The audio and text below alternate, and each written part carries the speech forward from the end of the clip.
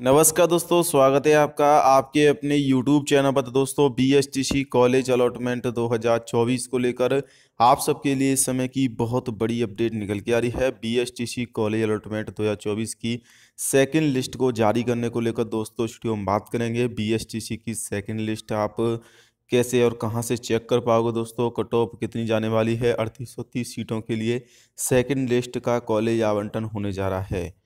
तो दोस्तों, आप सबके लिए अच्छी अपडेट है, लगातार इंतज़ार करने के बाद लगभग दो महीने का इंतज़ार किया है छात्रों ने। दो जनवरी की लास्ट डेट थी दोस्तों, अब वो फरवरी का महीना भी लगभग पूरा समाप्त होने वाला है और वी की सेकंड लिस्ट के लिए अड़तीस सौ तीस सीटें बची हुई हैं। फ़र्स्ट लिस्ट में बाईस हज़ार साठ सीटें दोस्तों भर चुकी हैं।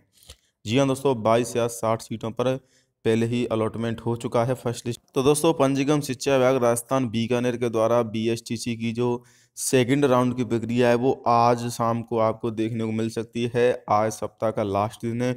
इसी सप्ताह की बोला गया था दोस्तों, बैरन लाल, जो आपके बोर्ड अध्यक्ष हैं दोस्तों, उनकी तरफ़ से पंचगम शिक्षा विभाग के मुख्य अधिकारी हैं कि लिस्ट का जो आवंटन है, वो इसी सप्ताह में हो जाएगा और आज शनिवार है, ला, यानी कि लास्ट दिन है दोस्तों सप्ताह का। अगर आज लिस्ट नहीं आती है तो फिर आपको अगले सप्ताह का वेट करना पड़ेगा, क्योंकि कल रविवार है।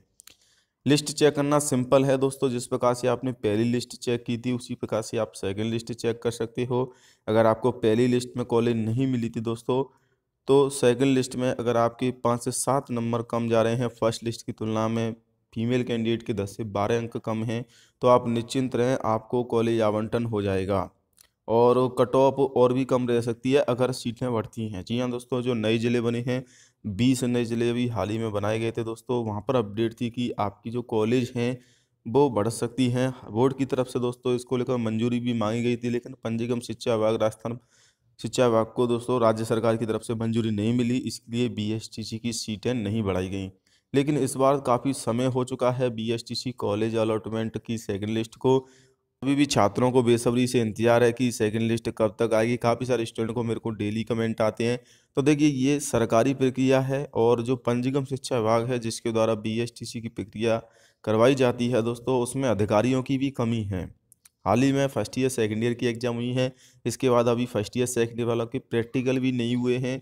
तो लगातार डिले किया जाता है और पीएचटीसी का जो सेशन है वो लगातार लेट होगा। सेकंड लिस्ट वालों का जितना लिस्ट लेट आएगी, उतना ही सेशन लेट होगा। इसीलिए छात्रों की मांग भी है और मैं भी लगातार आपकी आवाज़ उठाता रहता हूँ कि सेकंड लिस्ट जल्दी से जल्दी जारी करें, क्योंकि अभी भी सीटें खाली बची हैं और तीसरी लिस्ट आने की संभावना इससे बहुत कम हो जाती हैं। इतना लेट तो दोस्तों सेशन 2023 में भी नहीं हुआ था, इतना 2024 में सेशन लेट हो रहा है।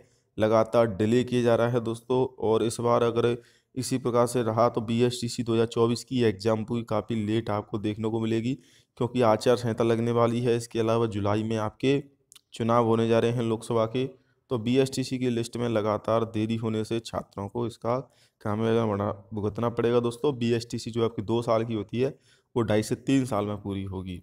तो ये है जानकारी B S T C college allotment को लेकर।